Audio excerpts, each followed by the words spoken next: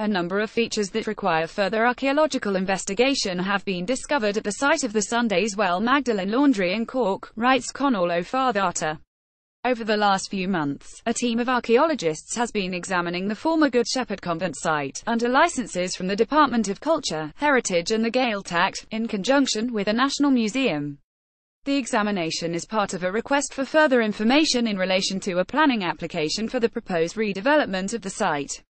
A team of archaeologists has been examining the former Good Shepherd Convent site. Pictured Denis Minihane last February, Monada Development sought permission to provide 234 apartments in a project incorporating existing orphanage, convent, and Magdalene home buildings.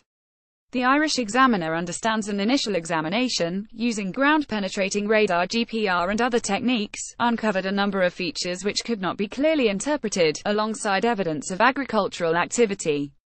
The results of this examination were relayed to Cork City Council, and other statutory bodies, and a second, more intensive, series of archaeological tests was agreed to clarify the nature of these features.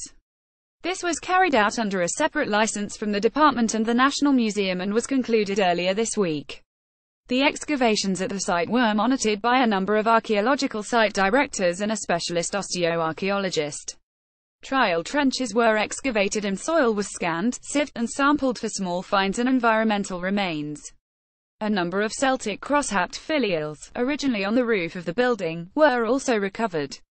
A spokesperson for Cork City Council declined to comment on the findings of the excavations. The details submitted will be subject to full archaeological assessment, as part of the consideration of the planning application.